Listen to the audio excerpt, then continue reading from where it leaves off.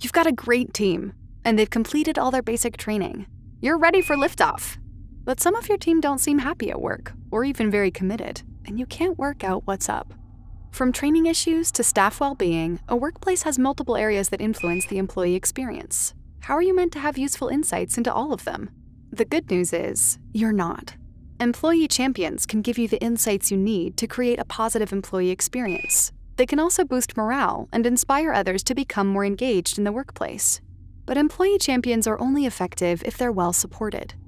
This course will tell you what employee champions do, the benefits they bring, and how to best support them.